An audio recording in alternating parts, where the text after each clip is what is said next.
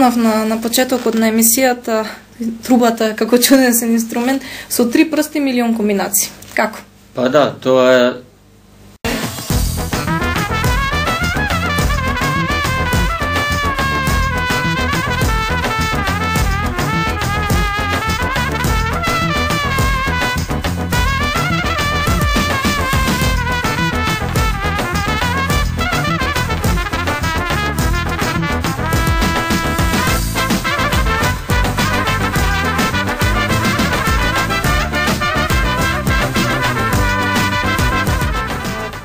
Каде каде би можеле освен на телевизија да ве видат луѓето? Па луѓето можат да не видат исто така во, по концерти, по свадби, родендени, каштевки.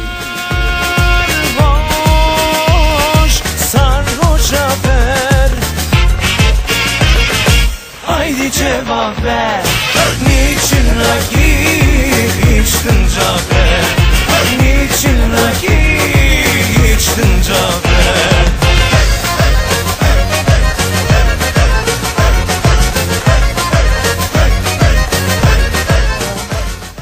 Колку членови брои вашиот состав? Нашиот оркестар содржи од 8 членови.